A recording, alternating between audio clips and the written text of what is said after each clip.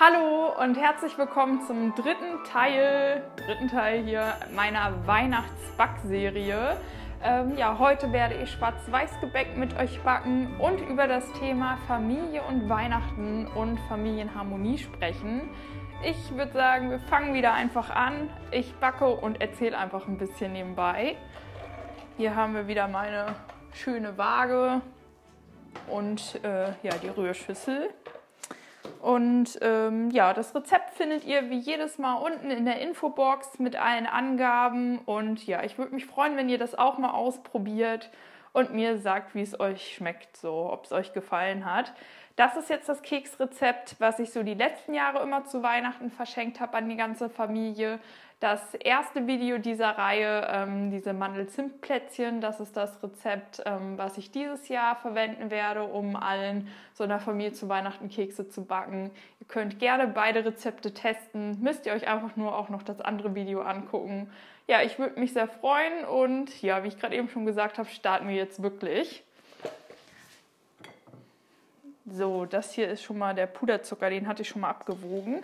Muss jetzt aber noch gesiebt werden.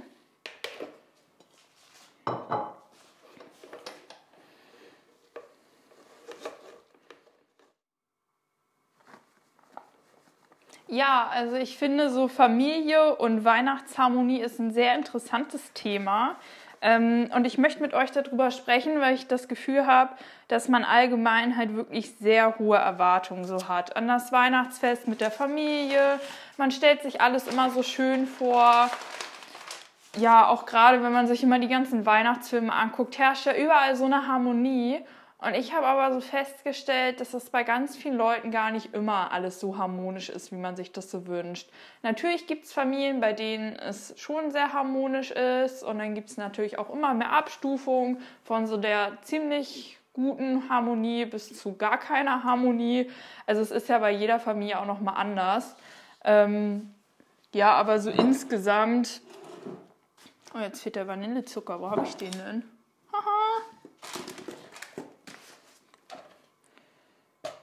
Das ist jetzt ein bisschen schlecht.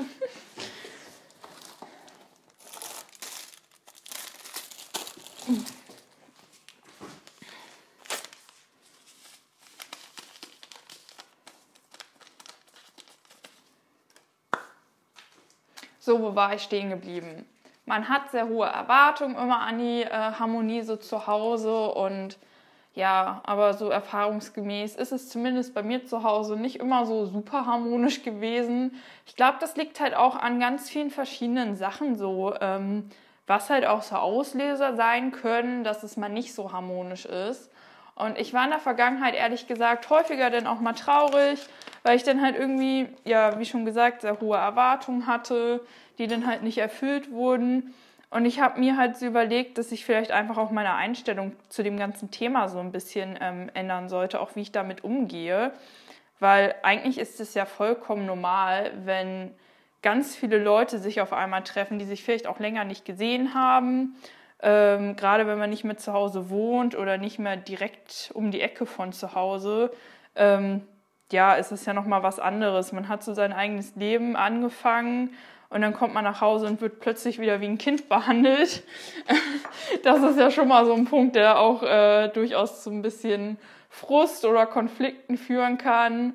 Ähm, ja, weil man halt einfach so in seinen eigenen vier Wänden alles so ein bisschen anders macht, als man das sonst so zu Hause gemacht hat.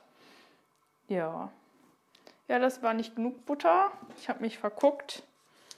Es müssen 150 Gramm sein.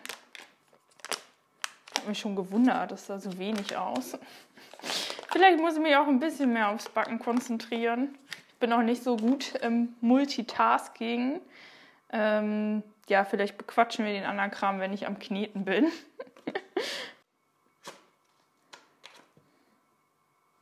Perfekt, genau 150 Gramm, richtig gut.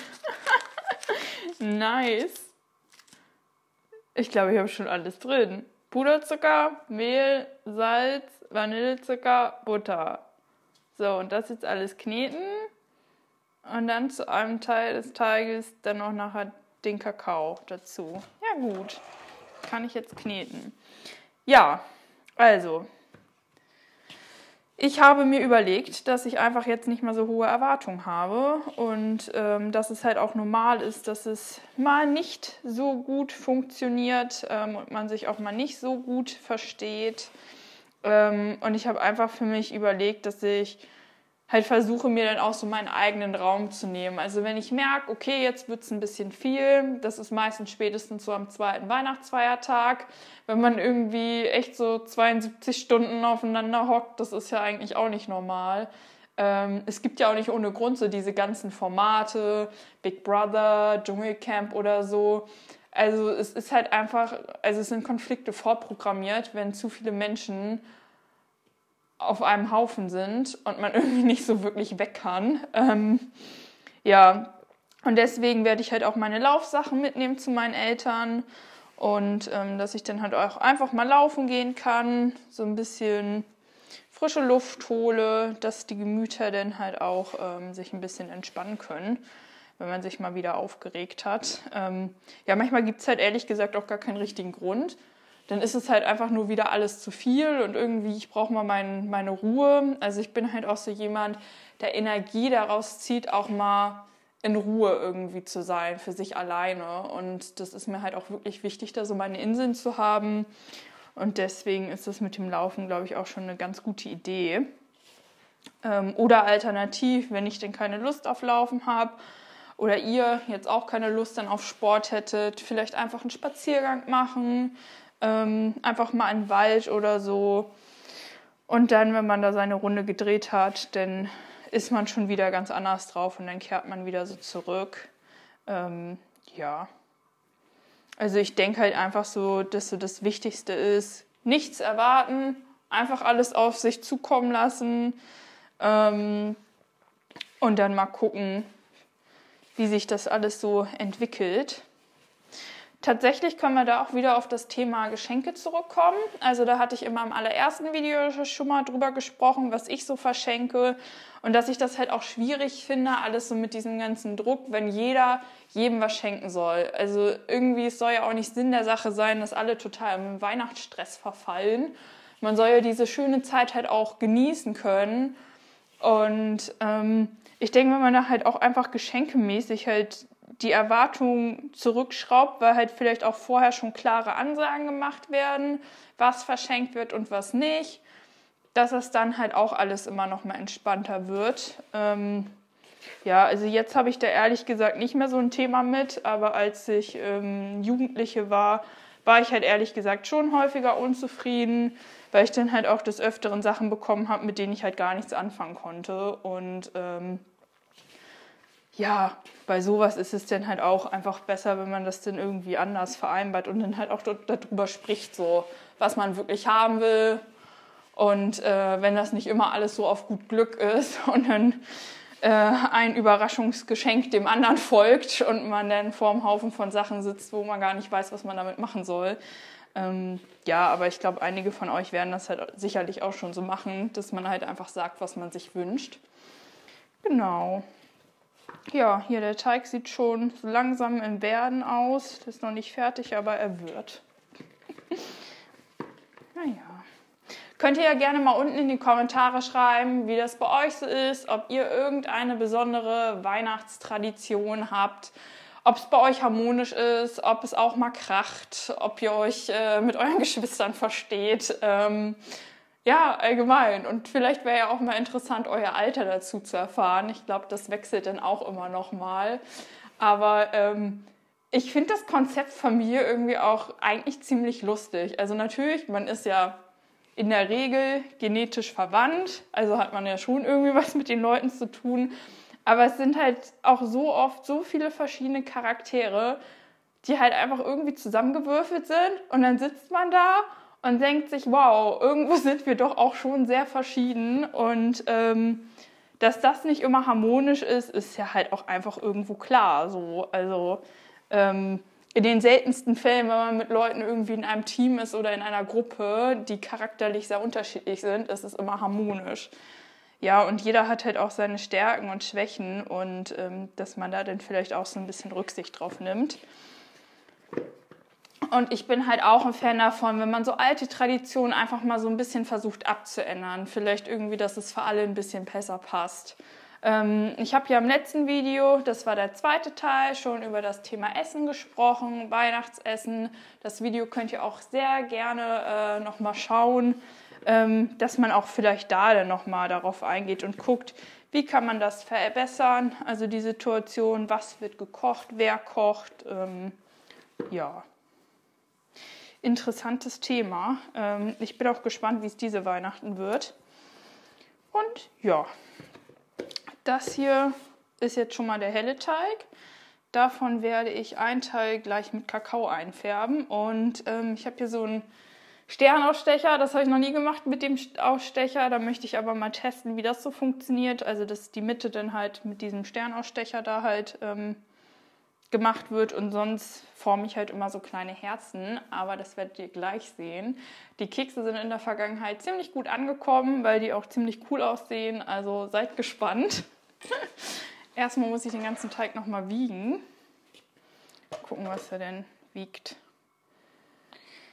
Tada!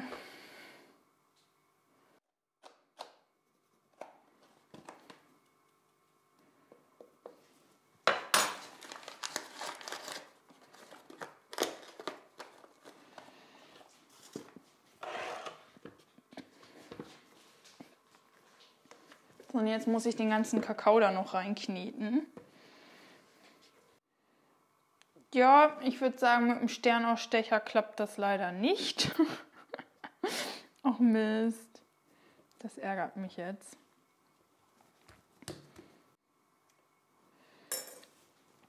So, dann gibt es wie immer meine Herzen. Das geht relativ einfach.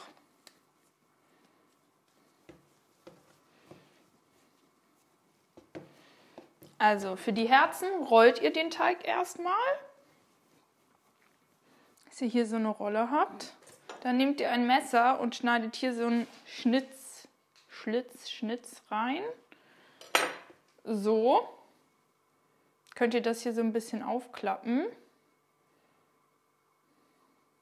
Und dann formt ihr das hier einfach so ein bisschen rund. So, dass das so die Herzen ja, Augen, was auch immer sind. Nee, Augen nicht. Dass es halt so rund ist, wie so die Wölbung oben beim Herzen.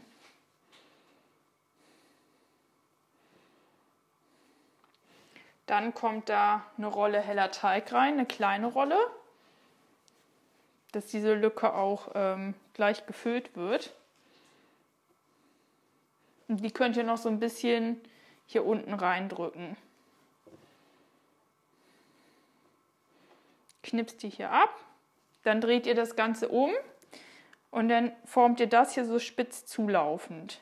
Das ist dann so die Spitze vom Herzen.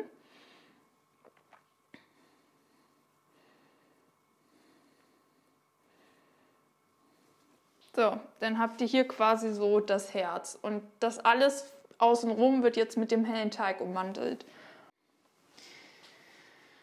So, bildet man jetzt weitere Rollen.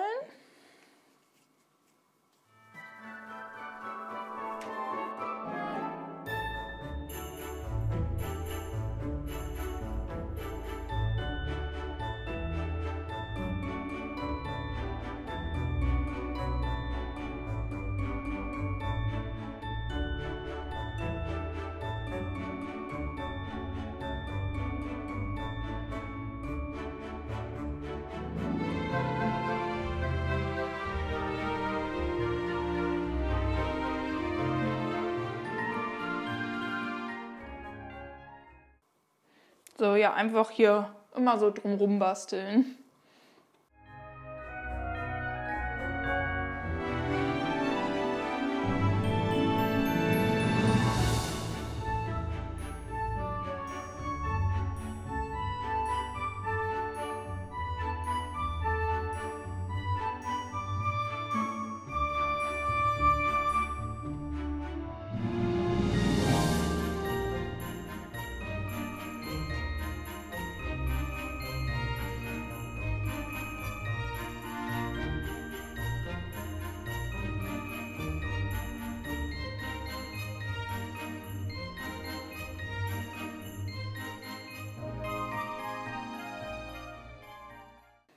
So, und wenn das alles drumherum gebastelt ist, einfach so rollen, dass das alles außen gleichmäßig wird.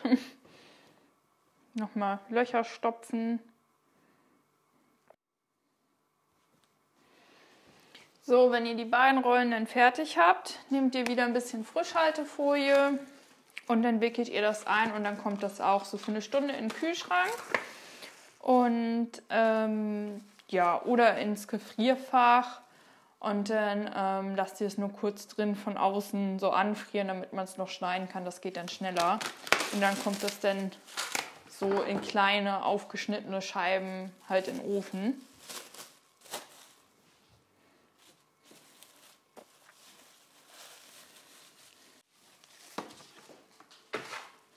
So, ich packe die Rollen jetzt in den Kühlschrank und wir sehen uns gleich wieder.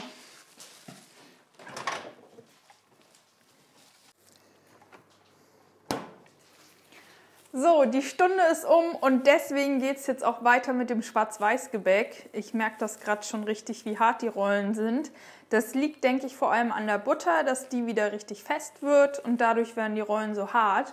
Und das ist genau das, was wir wollen, denn jetzt können wir sie richtig gut in Scheiben schneiden, die man dann als Kekse auf dem Backblech im Backofen aufbacken kann.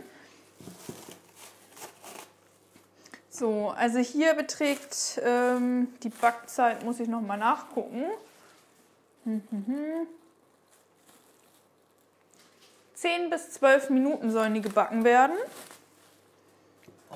Aber das kriegen wir hin. So. Ich schiebe mal das Blech zur Seite, dass man das besser sehen kann. Und jetzt schneide ich die einfach mal auf.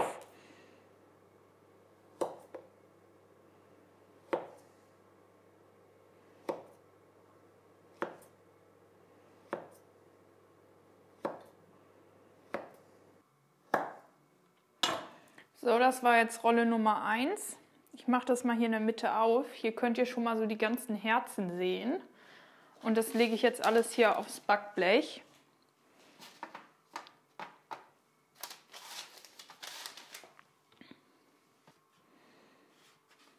So, und man sollte beim Verteilen auf dem Blech immer schön Sicherheitsabstand einhalten.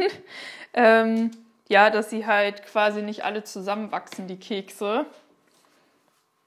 1,50 brauchen wir jetzt nicht, aber so ein paar Zentimeter brauchen die dann doch an Platz.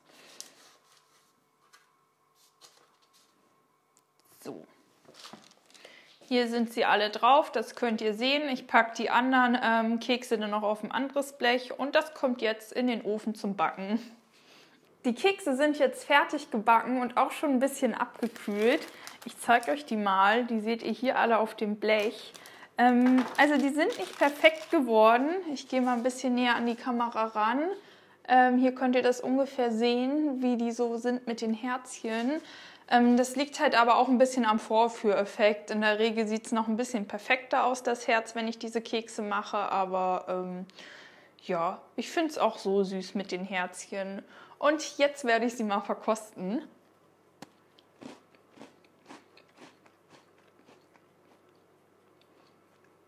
Wirklich lecker. Oh, irgendwie, ich stehe total auf selbstgebackene Kekse. Ich finde, die schmecken einfach meistens viel besser als die aus dem Supermarkt. Mhm. Also es lohnt sich wirklich, die nachzubacken. Die sind sehr, sehr lecker. Ja, ich werde jetzt hier noch ein bisschen Spaß mit meinen Keksen haben und noch ein paar Naschen. Und ja, ich wünsche euch alles Gute, eine tolle Weihnachtszeit. Bis zum nächsten Mal. Tschüss!